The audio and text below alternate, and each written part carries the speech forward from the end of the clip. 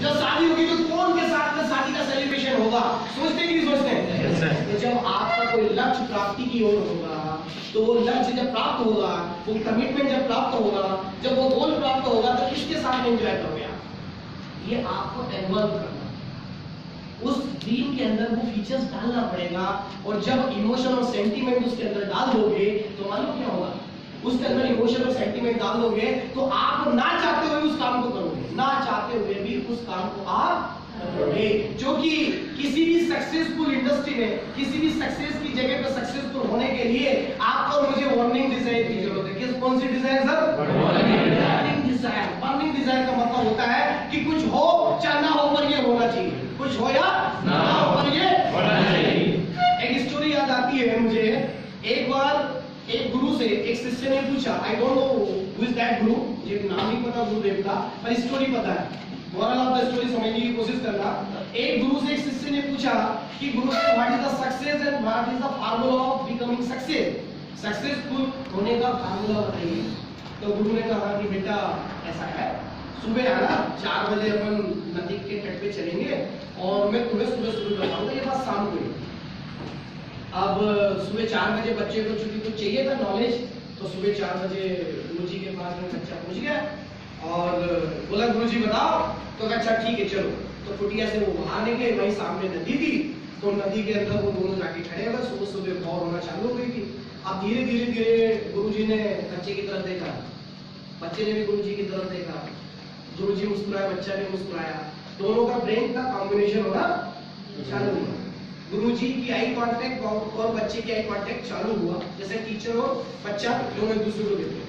तो गुरुजी ने पूछा, बेटा, तू सचमुच जानना चाहता है? What is the formula of success बोला हाँ गुरु जी मैं तो इसीलिए आया हूँ। लेकिन पागल थोड़ी सुबह सुबह चार बजे स्कूल में आऊँगा ओके तो अच्छा ठीक है, चलो मेरे साथ।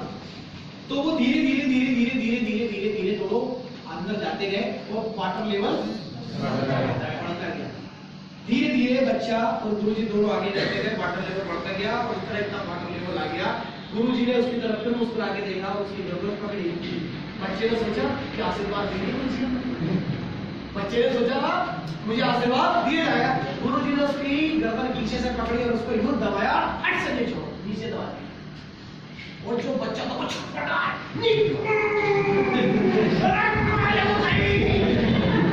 पूरी तरह छटपटा वो हाथ पैर और जैसे ही पूरा तरह सांस के लिए पूरी सट से ऊपर निकाला गोद में लिया।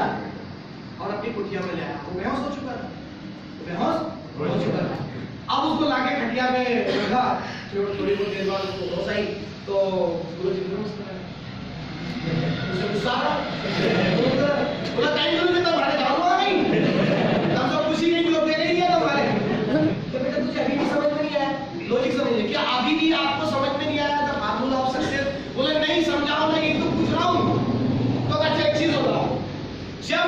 ਵਾਲੀ ਗਰਦਨ ਪਕੜੀ ਦੀ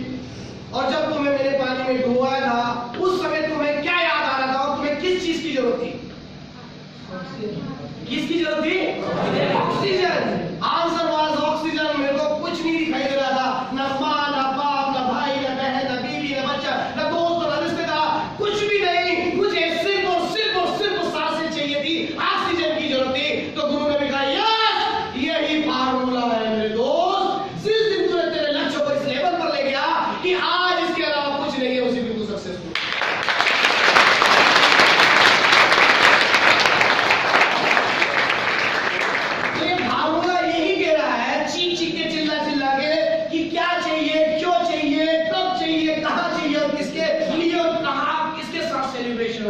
और जिस दिन आप समझ दोस्त मैं क्या कर रहा हूँ, क्यों कर रहा हूँ, किसके लिए कर रहा हूँ, उस दिन आप सफल होते हैं और इसे कोई नहीं रोक सकता। तो अगली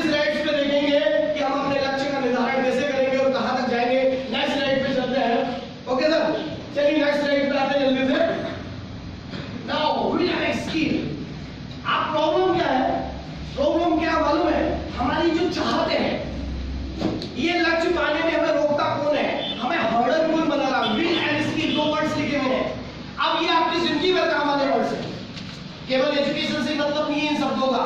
विल एंड स्किल विल मतलब क्या? इच्छा। स्किल मतलब क्या? कला।